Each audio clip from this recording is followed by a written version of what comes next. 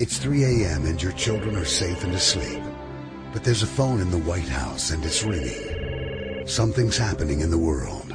Your vote will decide who answers that call. Whether it's someone who already knows the world's leaders, knows the military, someone tested and ready to lead in a dangerous world. It's 3 a.m. and your children are safe and asleep. Who do you want answering the phone? Hello? Hello? Why, hey, Monica. What's that? Yeah, the hill's asleep now.